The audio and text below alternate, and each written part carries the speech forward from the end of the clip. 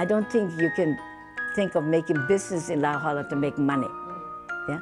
But if you enjoy doing what you're doing, and people that buy it enjoys it, if it becomes a piece of work and art, and people that enjoys and understand how much work it went into lauhala, and they enjoy it, then it will survive in that way.